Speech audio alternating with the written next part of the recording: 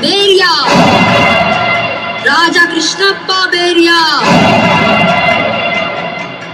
हमारे यहाँ से रॉकी भाई कहते हैं साहब सलाम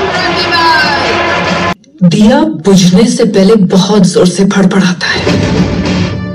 सुना है तुम एक अच्छे बिजनेसमैन हो, इसलिए होशियार हो, लेकिन तुम एक क्रिमिनल भी हो, और एक दिन चुकोगे।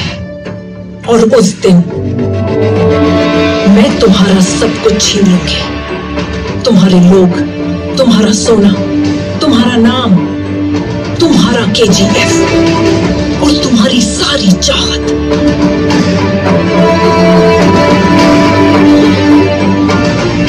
ये चेतावनी नहीं ये मेरा वादा है।